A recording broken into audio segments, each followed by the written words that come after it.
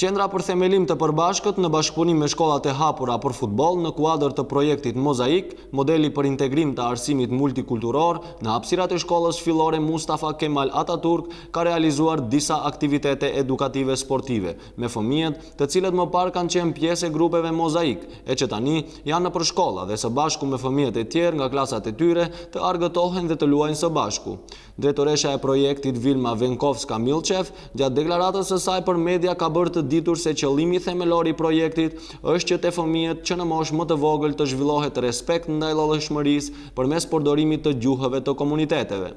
Sipas Milçev, në Mozaikun grupet e fëmijëve janë në moshë të ndryshme, që nxitet pavarësi te fëmijët, Nxit bashkëpunim, mësojnë sipas modelit nga më i rrituri dhe më mirë zhvillohen. Nxitet vetëbesim te fëmijët dhe qasje individuale ndaj çdo fëmije. Pastaj, përmes aktiviteteve fëmijët që në moshën e hershme mësojnë si t'i thyejnë barrierat, paragjykimet dhe stereotipet gjuhësore.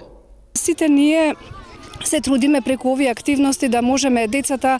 Të gjithë ne mundohemi nëpërmjet këtyre aktiviteteve fëmijëve nga moshat më të reja t'u sigurojmë aktivitete nëpërmjet të cilave ata do shoqërohen me fëmijë të nacionaliteteve të ndryshme, nëpërmjet të cilave ata do të mësojnë të respektojnë të tjerët dhe thjesht nëpërmjet këtij bashkëpunimi të bëjnë miq nga vitet e tyre të para, miqësi kjo që zgjat përjetësisht.